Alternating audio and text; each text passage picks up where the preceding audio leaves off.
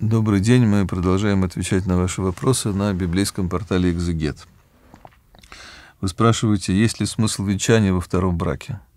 Да, есть смысл венчания во втором браке.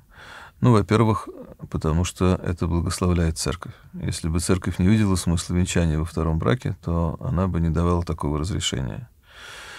Второе. Вы, может быть, венчаетесь второй раз, а новый ваш супруг в первый. Почему же вы хотите лишить этого, его, этого великого, удивительного таинства? Ну, а самое главное, и самый главный смысл в том, что э, вы вступаете в брак. И брак, не освященный Богом, если вы христианин, конечно же, это ну, для христианина не совсем брак. Да. Мы принимаем браки людей, которые еще не до конца переступили порог церкви.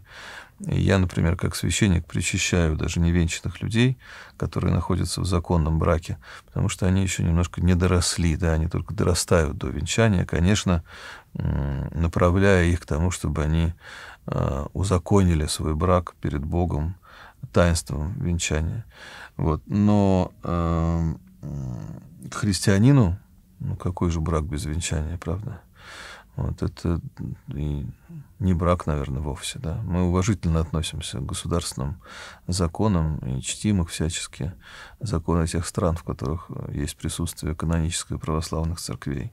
Но э, для христианина брак — это только венчанный брак. Аминь. Внеси свой вклад, оцени, подпишись и поделись этим видео.